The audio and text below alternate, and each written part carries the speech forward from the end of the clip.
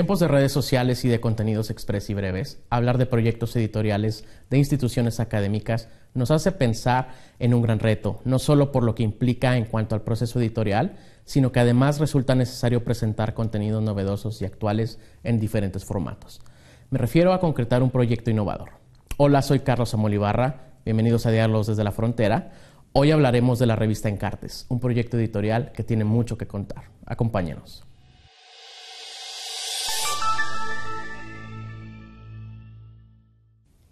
En este episodio me acompaña la doctora René de la Torre, quien es doctora en Ciencias Sociales con especialidad en Antropología por parte del CIESAS y de la Universidad de Guadalajara. Además de ello, es profesora investigadora en Ciencias Occidente y es directora de la revista Encartes. Doctora René, gracias por estar con nosotros. Muchas gracias por invitarme, Carlos. Bueno, pues quiero comenzar el programa preguntándole qué es Encartes y qué periodicidad tiene. Bueno, Encartes es una revista que es una revista en ciencias sociales, es una revista digital y lo que es la particularidad de la revista es que es una revista multimedia.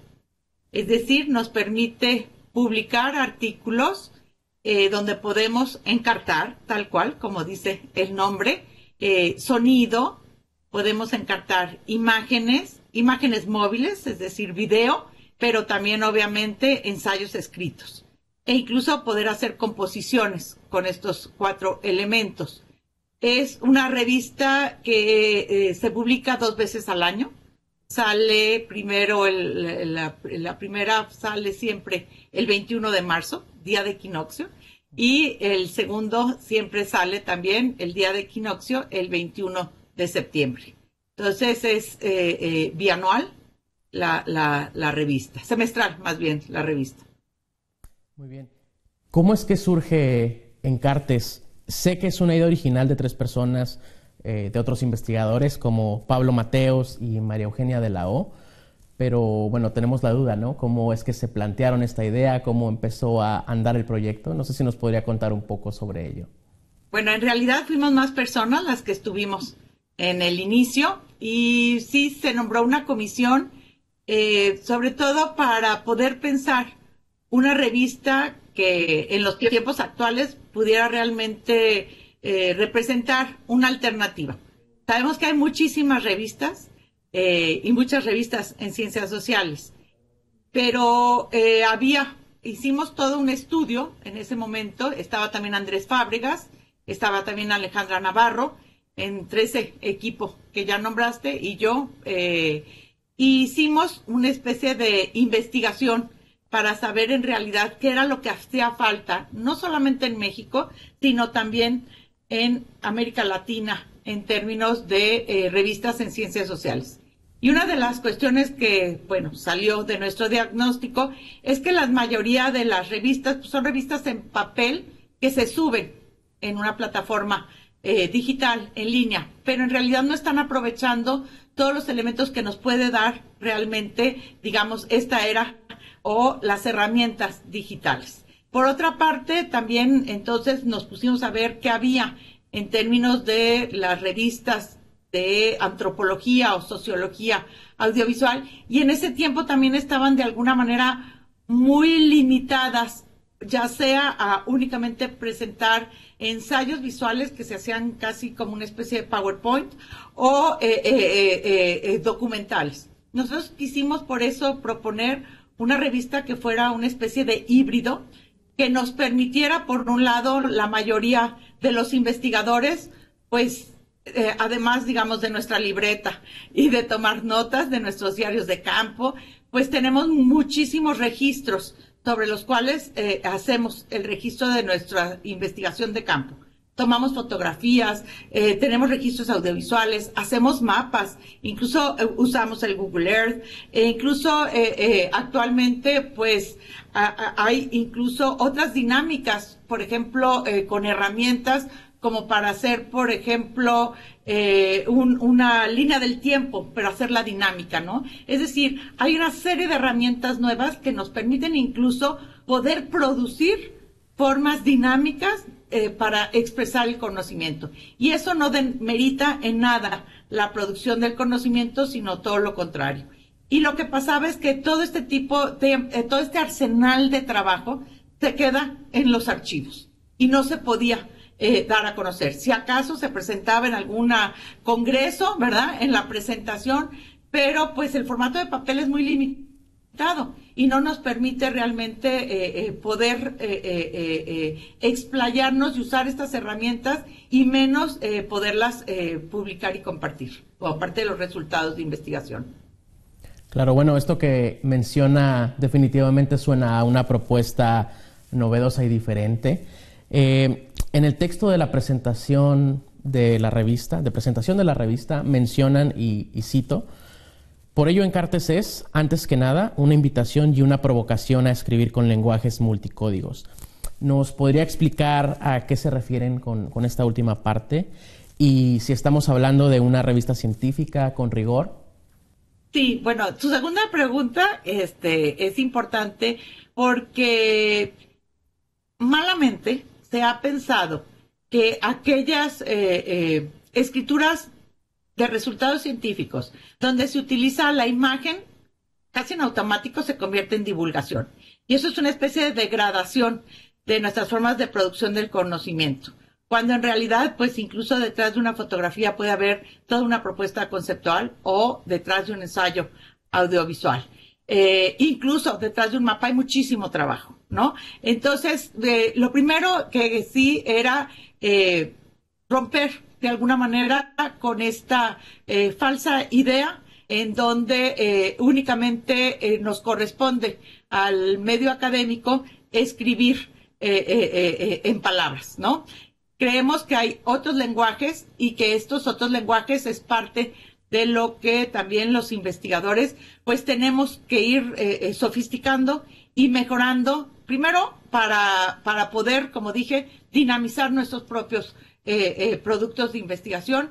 Segundo, porque existe una brecha enorme generacional.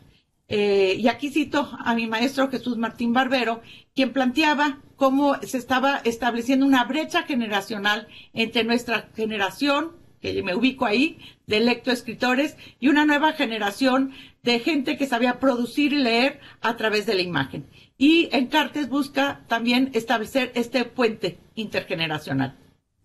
Muy bien, pues eh, suena, suena muy interesante esta, esta propuesta de, de, no dejar que el hecho de que tenga imágenes eh, sea en detrimento de, de, de, la ciencia, por así decirlo, aunque, bueno, ya usted mencionó eh, lo malo que es asumir que el hecho de que tenga imágenes una publicación la vuelve de divulgación, como si eh, el hecho de ser de divulgación fuera algo malo. Pero bueno, vamos a seguir con esta discusión al regreso del corte. Quienes nos están viendo en casa, por favor, sigan con nosotros estos diálogos desde la frontera.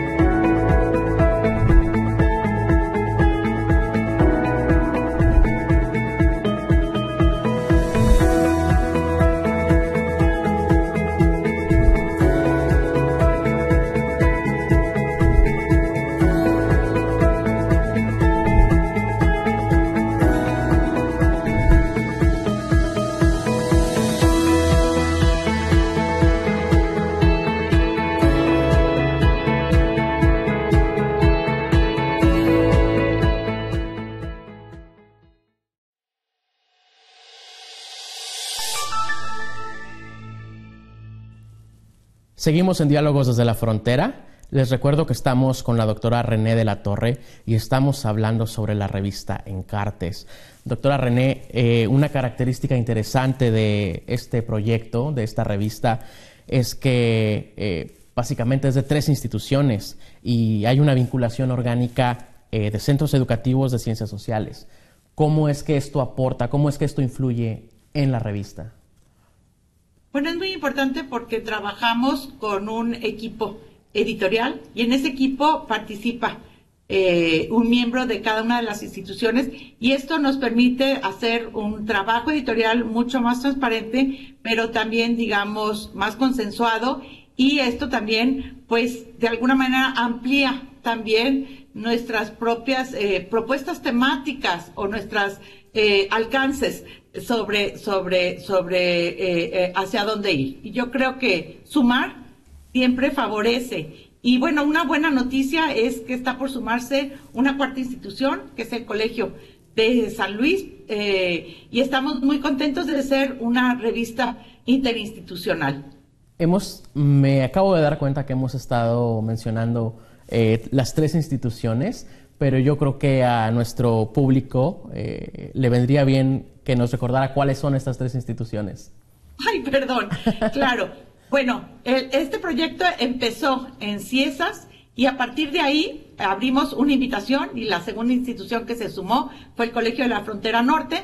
Eh, posteriormente se sumó el Departamento de Estudios Socioculturales de la Universidad ITESO, que es la Universidad Jesuita en Guadalajara, y como dije, pues estamos ya en la firma del convenio con el Colegio de San Luis. Perfecto. Eh, bueno, ¿cuáles han sido los logros hasta ahora eh, en estos últimos cuatro años de Encartes?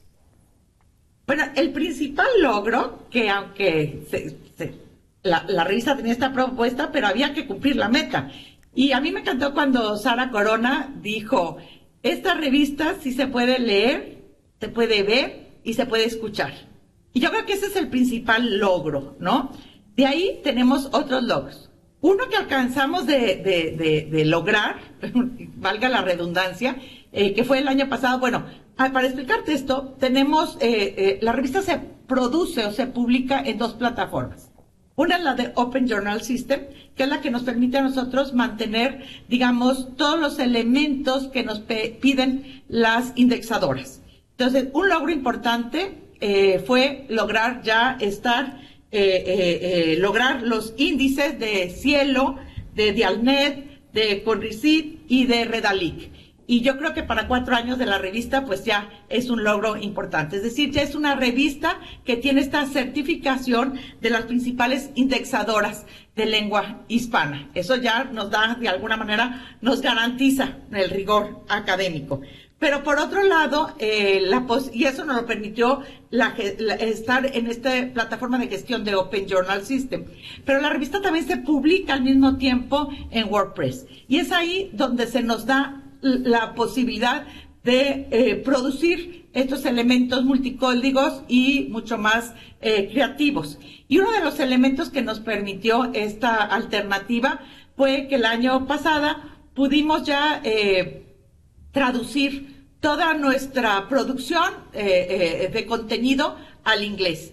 Y fue impresionante cómo aumentó muchísimo nuestros lectores en Estados Unidos, siendo actualmente el segundo país de, eh, eh, eh, usuarios y lectores de la revista. Sigue siendo México, en segundo lugar Estados Unidos y en tercer lugar América Latina. Y logramos de alguna manera también una meta impresionante, igual favorecidos por el COVID, pero el año pasado logramos casi 40 mil lectores en un año.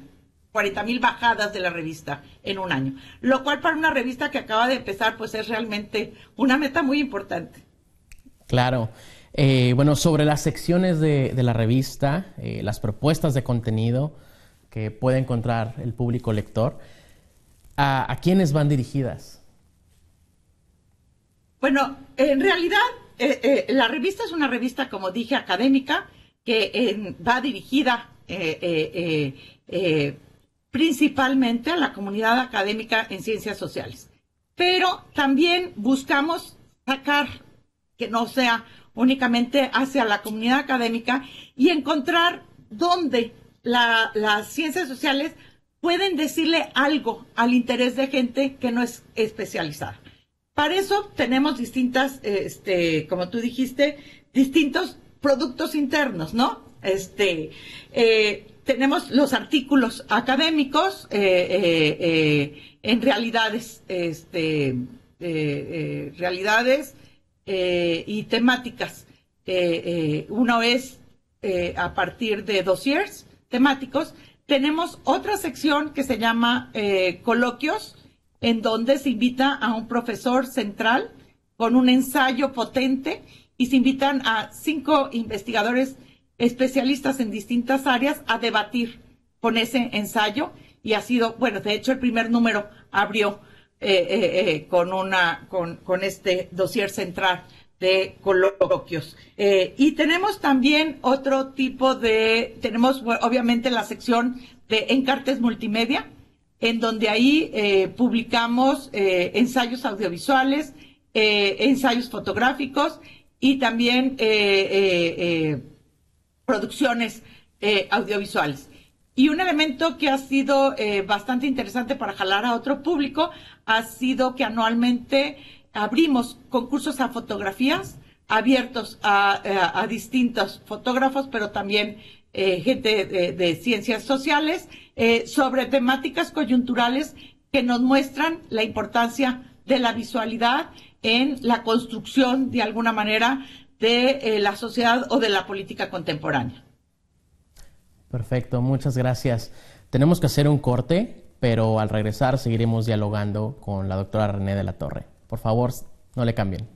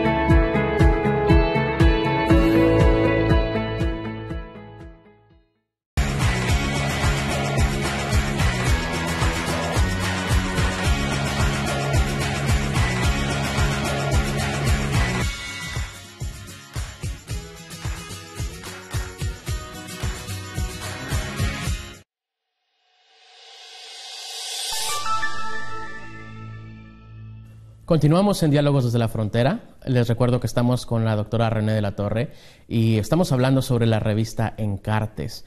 Antes del corte eh, nos estaba platicando sobre las secciones de la revista y justo mencionaba eh, concursos fotográficos. Eh, no sé si podríamos continuar con, con eso. Mira, hemos hecho tres convocatorias fotográficas y esto ha sido bien interesante porque en las convocatorias participan tanto fotógrafos profesionales pero también sociólogos, historiadores o antropólogos eh, que tienen registros de fotografía. En la primera que lanzamos fue sobre la presencia de la pañoleta verde en distintas marchas o activismos feministas que estaban apareciendo como un símbolo ya posicionado del feminismo en distintas ciudades del mundo. Eh, la segunda fue sobre cómo se transformaba la vida cotidiana a partir de la epidemia del COVID-19 y se lanzó casi al principio del COVID y fue muy interesante. Y la tercera, que acabamos de publicar en el último número, fue sobre la intervención estética de los monumentos y espacios públicos como expresiones de política disidente en estos momentos y que es de alguna manera también una pauta interesante. Esto de la fotografía tiene para nosotros algo muy importante, porque la centralidad es también, de alguna manera, educar la mirada y ver exactamente cómo en una época en donde tanto la imagen como el símbolo es tan importante y está tan posicionada, también tenemos que enseñar a leer los, los contenidos eh, fuertes e incluso a tener lecturas eh, eh, sociológicas y antropológicas sobre lo visual. Y te quiero platicar de otra sección que se me olvidó platicarte, que se llama discrepancias. Esta es también una sección que está planeada exactamente para colocar temas de interés, temas de coyuntura, debatidos en discrepancia por tres o cuatro investigadores eh, que sean reconocidos en el tema y que realmente eh, eh, planteen posturas distintas de, estas personas. Esto obviamente le damos difusión amplia porque eh, son de alguna manera estas también ventanas para sacar de alguna manera la producción del pensamiento académico hacia las redes sociales. y una, también tenemos reseñas y en ese sentido, pues también las reseñas eh, no solamente se tratan, como es de, habitualmente, reseñas de libros académicos, sino también académicos eh, reseñando otro tipo de productos no académicos. Por ejemplo, hay una reseña que a mí me gusta mucho sobre la crónica del taco y es una reseña que hizo un etnógrafo que se dedica a etnografía del patrimonio de la comida o en el siguiente número pues se va a publicar una etnografía sobre este programa que esta, eh, eh, sí, de Netflix que hubo que se llama Rompan Todo sobre el rock en América Latina de un especialista eh, antropóloga en rock. Entonces también tratamos de ahí de hacer, digamos, como estas aperturas de poder dar a conocer eh, la producción del conocimiento de los eh, eh, especialistas a un público más amplio. Y también tenemos la sección de entrevistas. Y estas entrevistas también se pueden presentar videograbadas en texto o en formato oral. Muy bien. Queda claro que es una revista innovadora y que de cierta forma están cerca de los generadores de contenido. Y en ese sentido me gustaría preguntar cómo es que se ha dado la integración con las plataformas digitales, con las redes sociales, por ejemplo. Sí, claro, esto es muy importante. Una de las cuestiones es que al tener este diseño digital, sí tiene un diseño eh, especial para poderlo ver en una tablet, para poderlo ver en un teléfono. Es decir, y tiene una serie de funciones eh, que permiten nuevas formas de lectura, que no son las de lectura del papel. Es decir, estas lecturas interactivas eh, eh, que hacen también una, una lectura mucho más dinámica. Eh, y es muy importante que siempre, pues, la revista va acompañada, digamos, de todo un apoyo en las redes sociales para poder de alguna manera promocionar los nuevos contenidos de la revista, pero también cuando hay alguna coyuntura, algún elemento en el acontecer que le da significancia a lo ya publicado, pues volvemos a sacar esos contenidos en una campaña en redes sociales. Y esto pues ayuda mucho, sobre todo, a hacer que se vea la importancia de la producción del conocimiento de las ciencias socioculturales. ¿Cómo pueden participar las personas que estén interesadas en colaborar? ¿Está abierta la convocatoria? Eh, ¿Qué características deben de tener las aportaciones? Bueno, tenemos una página web que está muy fácil, encartes.mx, incluso poniendo la palabra encartes, eh, se, se dirigirá a la revista y ahí están las políticas editoriales de cada una de las secciones. No podría ahorita mencionarlas porque cada una tiene eh, eh, eh, distinta, pero varias de las de las únicamente temáticas es restringida por invitación y discrepancias y el resto sí son abiertas al público general. Perfecto, muchas gracias. Desafortunadamente el tiempo se nos ha terminado. Muchas gracias, doctora René, por participar en el programa y por compartirnos su trabajo. Muchas gracias al programa Diálogos de la Frontera y a Carlos por esta oportunidad para poder presentar y difundir a la revista Encartes. A ustedes que nos acompañan, recuerden suscribirse a nuestro canal de YouTube y seguirnos en nuestras redes sociales. Nos encuentran como El Colef. Yo soy Carlos y los espero en la próxima emisión. Hasta pronto.